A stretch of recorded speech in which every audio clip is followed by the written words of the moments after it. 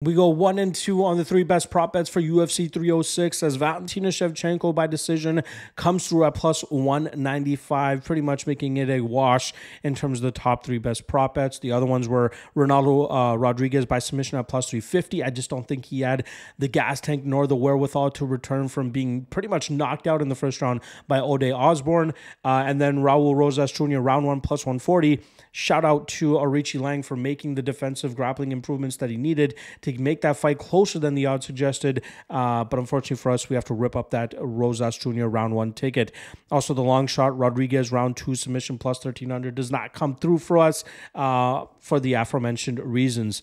Uh, got another three best prop bets uh, plus a uh, long shot for you guys for UFC Paris. Uh, reminder PFL Europe breakdowns will not be on YouTube this week, they'll only be in written form on the MMA LOTN Patreon page. Link for that is in the description below. That card goes down at the same time as the UFC Paris card, so you can pop up two screens, watch both fights, and hopefully cash multiple tickets over those cards with the help of the MMA LOTN breakdowns. Check the link in the description below for that.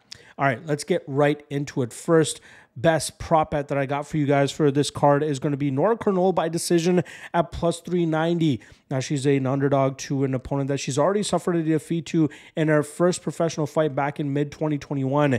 I believe that this will be a much closer fight with Jacqueline Cavalcanti. And even though Cavalcanti might be the slightly slicker striker, I think the aggressiveness and comfortability of Cornell in the MMA cage now will do a great job for her to get the victory and even the score here against Cavalcanti.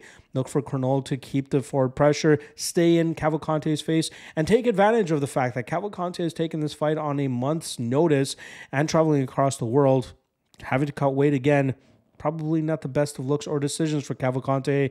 And again, I think we're going to see a much improved version of Cornolle compared to the first time that they threw down. The uh, and I think she wins this fight by decision at plus 390. The second best prop bet uh, is going to be Morgan Charrier round two at plus 370 we know Gabriel Miranda has a horrible gas tank issue, and he normally comes out like a bat out of hell, looking to submit and grapple his opponents in that first round. But I think Charrier has showcased good enough submission defense in the past and good enough scrambling and reversals that he's going to keep Miranda working, blow that gas tank of Miranda quickly. And I think by the second round, it'd be ripe for the picking for Charrier to be buoyed by the French crowd to get a finish here and get a big emphatic victory. Uh, round one is a possibility as well, but at round two plus 370 odds. I'm going to list that as the second best prop bet.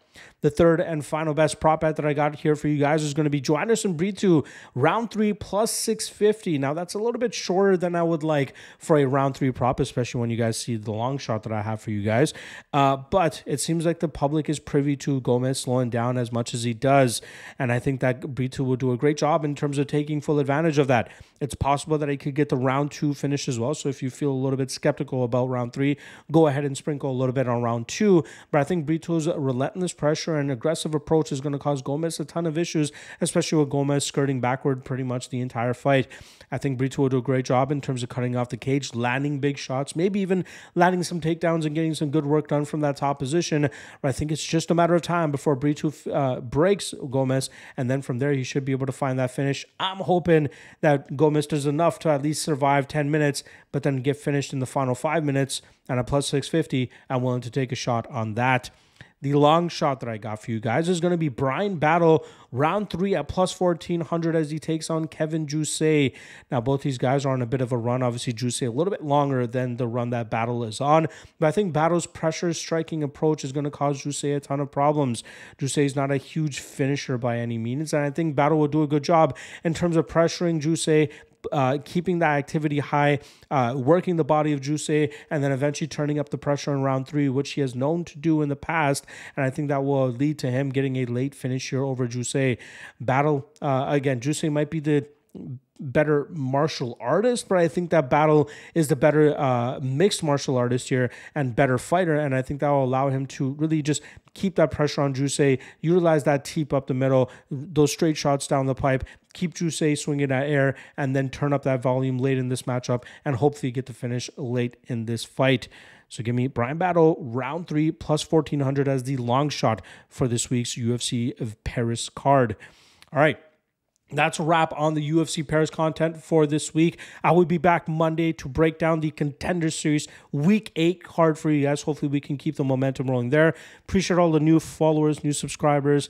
Um, you guys obviously make this a lot easier to do with all the support you guys show.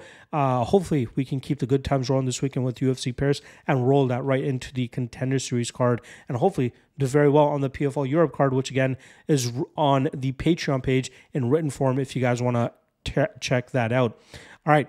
Good luck on all your action uh, this weekend, folks. I'll see you guys Monday for the Contender Series breakdowns. Peace.